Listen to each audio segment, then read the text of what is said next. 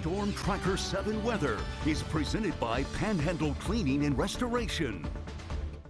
Hey, what's going on? Ohio Valley meteorologist Tyler Vangie. You've made it to the middle of the work week. It's finally time to start looking towards that weekend, but will it be a nice weekend where we can just kick back and relax in the sunshine. I think Mother Nature has something completely in, in stores for us. But locally, satellite and radar just picking up on a few passing clouds, some radar indicated mixed precipitation out there. That will continue into the morning. We have a, a little bit of a disturbance off to our west. That's going to continue to roll through, bringing some snow as we step into the morning. It's not a whole lot of snow, but it is very short lived, something to look at. Once again, it feels like we've been dealing with that for now three mornings in a row.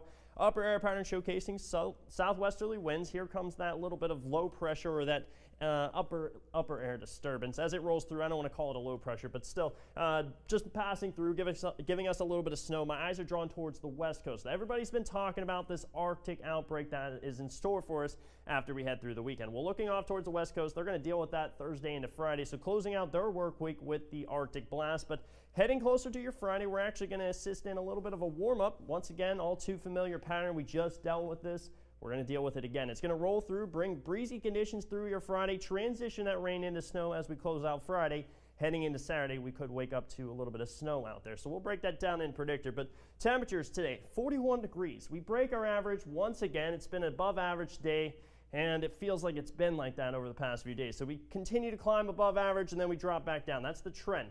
31 degrees for our overnight low is a little bit warmer than where we should be. So the snow that we see in the morning, it will be very short-lived. It's not going to stick around, make that winter wonderland. But moving forward, we could see those overnight lows closer to that average. And if we do see a nice system bringing us precipitation, most likely it's going to fall in the form of snowfall. And we could actually see it stick to the ground then.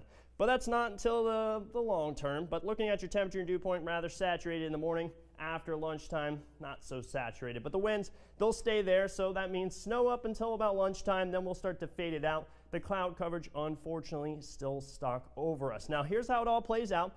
I talked about that disturbance. It's off towards Illinois, Indiana for the current time being, but as it rolls through, just getting the bottom, clipping us right between 7 and 9 a.m. So heading closer to lunchtime, very short lived. The best chance to see it if you live in the northern portion of the panhandle as it decides to roll through. But it's trending dry. We'll lack in terms of moisture after that. A little bit of chance to see some sunshine as we close out your Thursday, but not a whole lot of time left in the day. We will wake up with another chance Friday morning, but here comes that cirrostratus, that stubborn, thin, wispy clouds that give your sky that white appearance instead of the blue skies and sunshine. So very uh, short-lived, but a chance to see sunshine as this rain decides to roll through. There's your warm front heading into the afternoon and evening. The breezy conditions right around 5 o'clock before we see that low wraparound, giving us a chance to see snow Friday night into Saturday. Here's a look at your seven-day forecast. Don't forget about the breezy conditions.